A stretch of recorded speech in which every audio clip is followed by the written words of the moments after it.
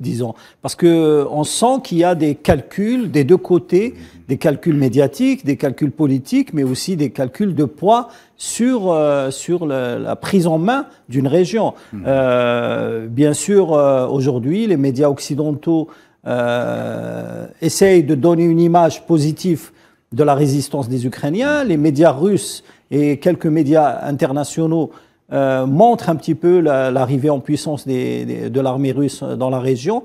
Comment euh, cette guerre des images va aboutir? Euh, pour le moment, nous n'en sommes qu'au début du conflit. Il n'y a pas eu, du point de vue aussi bien tactique que stratégique, d'innovation majeure. Mhm. et, et, même, on peut se dire que les Russes n'ont pas mis le paquet pour évoluer sur le terrain parce qu'ils ont leur propre euh, calcul. Certains experts disent que les Russes vont doucement, c'est-à-dire qu'ils pouvaient très bien euh, mm-hmm. arriver à Kiev et, un petit peu euh, terminer cette guerre en quelques jours, mais finalement, ils sont, ils sont en train de rentrer stratégiquement, mais dans une région pour essayer aussi de sauvegarder la population, parce que mm-hmm. dans les chiffres que, que les deux agences, hein, les agences russes et les agences ukrainiennes, chacun donne peu de pertes civiles et un peu de pertes militaires, mais jamais vérifiées sur le terrain. Oui, c'est pas évident pour le moment pour pouvoir euh, vérifier précisément euh, les chiffres des pertes militaires parce qu'il n'y a pas, il n'y a aucun organisme qui peut euh, intervenir sur place. Mais ce que je voulais dire par là, il y a une progression assez lente des troupes russes puisqu'ils n'ont pas eu un recours massif à l'aviation notamment.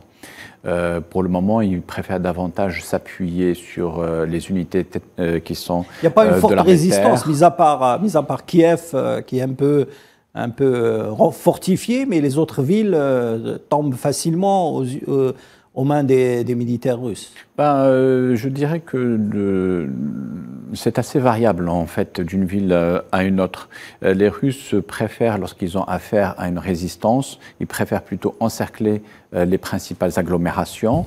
Et parfois, il y a même des ententes euh, tacites entre les différents commandants d'unités, aussi bien russes qu'ukrainiens.